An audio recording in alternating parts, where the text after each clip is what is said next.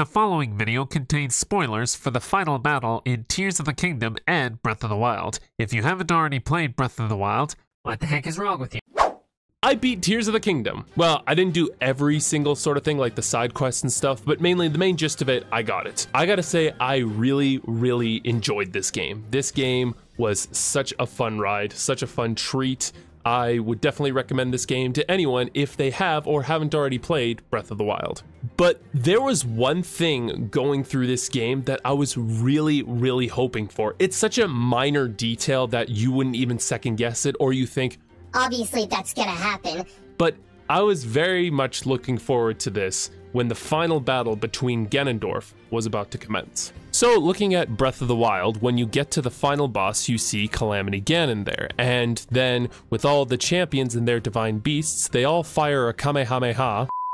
All four of them fire a four laser beam attack and whatnot, and basically cuts Calamity Ganon's HP to half if you haven't defeated all four Divine Beast or Blight Ganons, per se. So, as Calamity Ganon is getting mollywopped by these lasers, he then gets back up, kind of shakes it off, and does like this big roar. Then you get to Tears of the Kingdom, where Link goes to the deepest part, deepest parts beneath Hyrule Castle, and then you have all the sages that come to his rescue, and you fight a bunch of baddies and whatnot. Then Link goes on ahead, and you see Ganondorf, and his zombified skeleton version. But then he gets his act together, and we see his glorious, handsome face. And then, as Ganondorf draws his sword and that dark, gloomy music kicks in, then the screen goes black. But what happens next is what I was really hoping for. And the birth of his new world.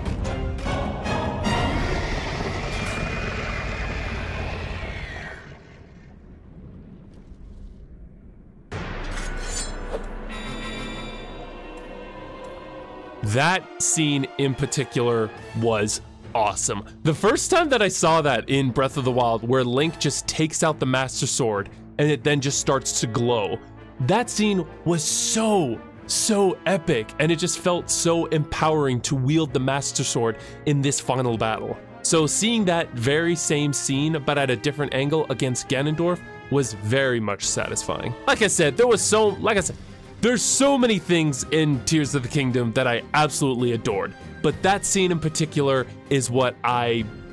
I, I don't care. I don't care. That is my number one favorite thing about Tears of the Kingdom. It's such a minor little detail, but I like it.